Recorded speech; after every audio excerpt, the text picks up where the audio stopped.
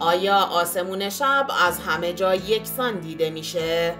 سلام احتمالا تا حالا این ضرب المثل معروف رو شنیدین که میگه آسمون همه جا یه رنگه اما سوال اینجاست که واقعا آسمون همه جا یه رنگه؟ شاید آسمون روز اینجوری باشه اما برای آسمون شب داستان خیلی عجیب میشه تو این ویدیو می‌خوایم براتون بگیم که چرا آسمون شب همه جا یکسان نیست و چه رازهایی پشتشه اگه به این موضوع علاقه دارین تا آخر ویدیو همراه ما باشین و channel مدیا 369 رو subscribe کنید.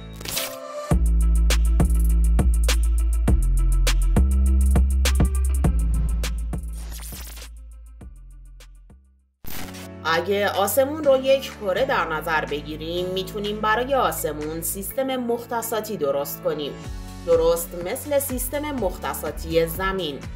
می‌تونیم توی آسمون قسمت هایی مثل قطب شمال، قطب جنوب و حتی یک خط رو به عنوان خط استوا در نظر بگیریم.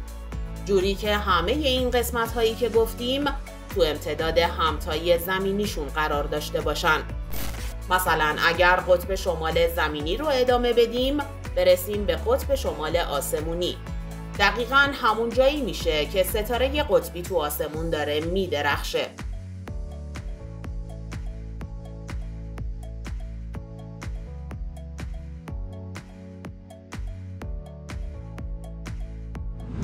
یه نکته دیگه هم هست که باید در نظر بگیریم. اونم اینه که ارتفاع ستاره قطبی برابر با عرض جغرافیاییه که شما از اون مکان دارین بهش نگاه می‌کنید. مثلا شما از تهران دارین به ستاره قطبی نگاه می‌کنید که توی عرض جغرافیایی 35 درجه است. پس ارتفاع ستاره قطبی از افق شما توی 35 درجه قرار داره. یا اگه بخوایم یه مثال دیگه بزنیم اگه برین قطب شمال چون توی عرض جغرافیایی 90 درجه هستید ارتفاع ستاره قطبی هم 90 درجه است که دقیقا میشه بالای سرتون. به خاطر همین مسئله توی آسمون نیمکره جنوبی و زیر خط استوا خبری از ستاره قطبی نیست و این ستاره هیچ وقت بالاتر از افق دیده نمیشه.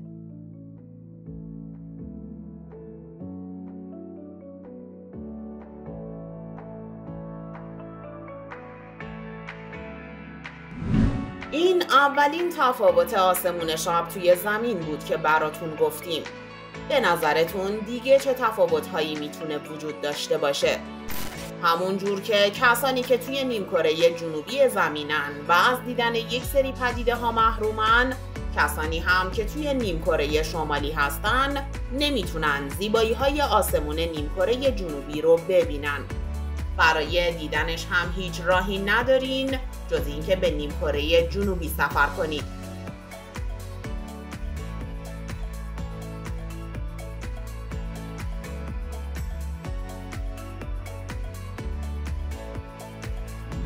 بازم می‌خوایم با ضرب المثل شروع کنیم و این تفاوت رو بگیم. ضرب المثل ستاره سهیل رو حتما ما ایرانیا شنیدیم. ستاره سهیل افسانه نیست. واقعا وجود داره و توی نیمکره جنوبی آسمون قرار داره.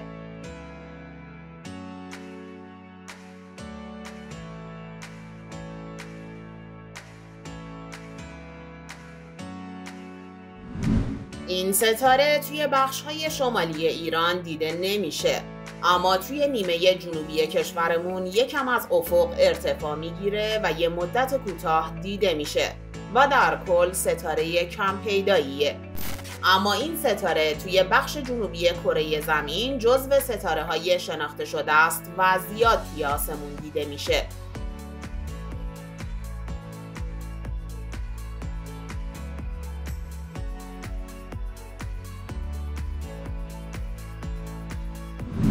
این داستان برای بخش مرکزی راه شیری تو صورتهای فلکی قوس و اقرب مثل ستاره سهیله.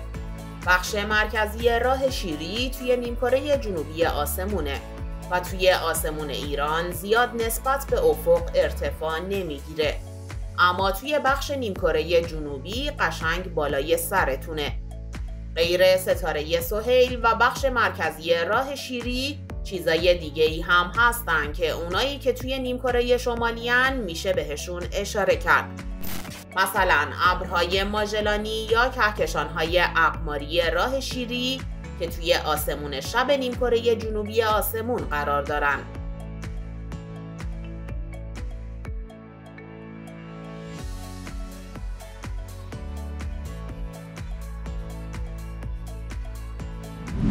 ابرهای ماژلانی دوتان یکی کوچیک و یکی بزرگ که از نزدیکترین جرمها به کهکشان راه شیری هستند که این ابرها پر از ستاره های جوونن و تصور دانشمندان اینه که این ابرها تحت تاثیر گرانش خیلی زیاد کهکشان ما قرار گرفته.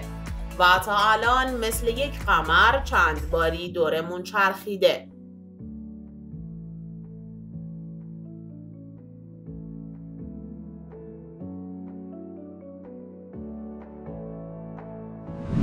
کهکشان اقماری کهکشانیه که مثل یک قمر دور یک کهکشان بزرگتر میچرخه. این چرخش به خاطر نیروی گرانش زیادتر کهکشان بزرگتره. دانشمندان تونستن کهکشان های کم نوری رو اطراف کهکشان راه شیری پیدا کنن که مثل قمر به دورش میچرخه.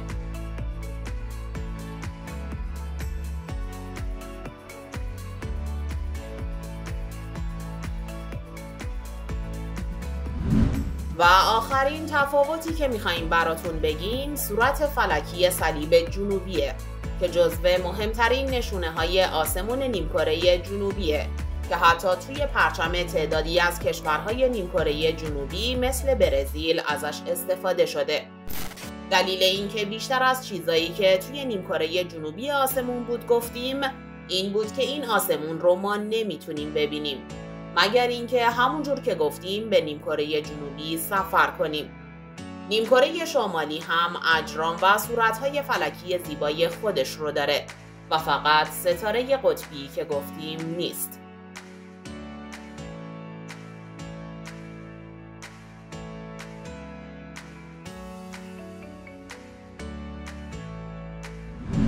می‌تونید چند تا از این زیبایی های آسمون نیمکره شمالی رو نام ببرید؟ لطفا توی کامنت ها برامون بگین تا ما هم ازش استفاده کنیم. ممنون که تا آخر ویدیو همراهمون بودین. امیدواریم اطلاعات مفیدی رو براتون گفته باشیم. اگه از این ویدیو خوشتون اومد لطفا like ش کنید و channel مدیا 369 رو subscribe کنید. تا ویدیوی بعدی خدا نگهدار.